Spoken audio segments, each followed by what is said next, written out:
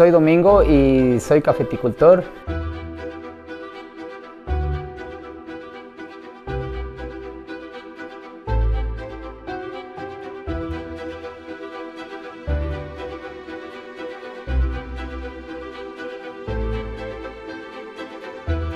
El, café que producimos pues se va este, a, a Starbucks.